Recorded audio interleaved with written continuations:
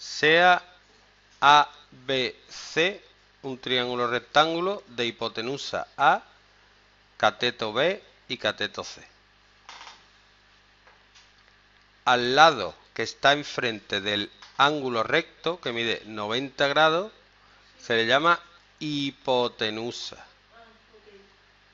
Y a los otros dos que tocan al triángulo rectángulo se le llaman catetos. Cateto 1 y cateto 2. Pues Pitágoras dice que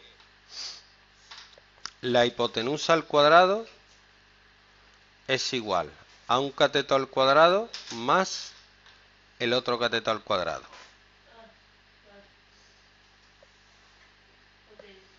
Entonces, te doy un triángulo normalito. Tú estarás escribiendo, ¿no?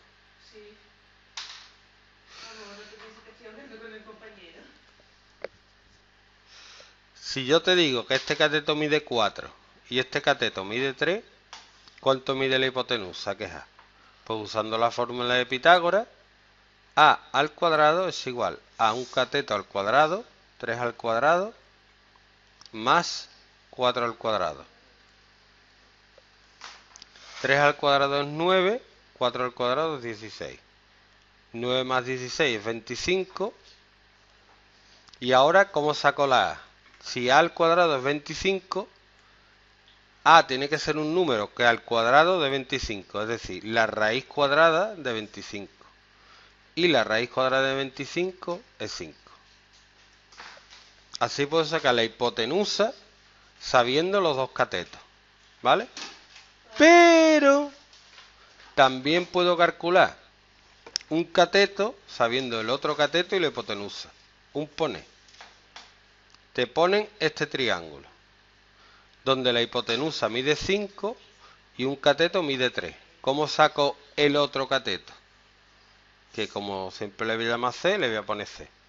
Pues usando Pitágoras, un cateto al cuadrado, digo, la hipotenusa al cuadrado es igual a un cateto al cuadrado más el otro cateto al cuadrado, ¿vale?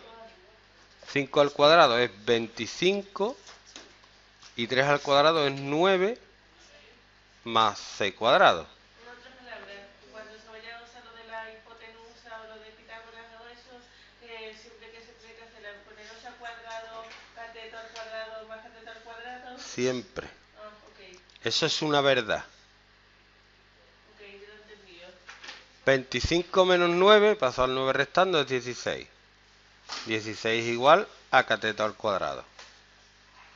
Entonces, para sacar qué número al cuadrado da 16, tengo que hacer la raíz de 16. C es la raíz de 16, que es 4. Y ya está. Se acabó. Comprendía. Bueno, tú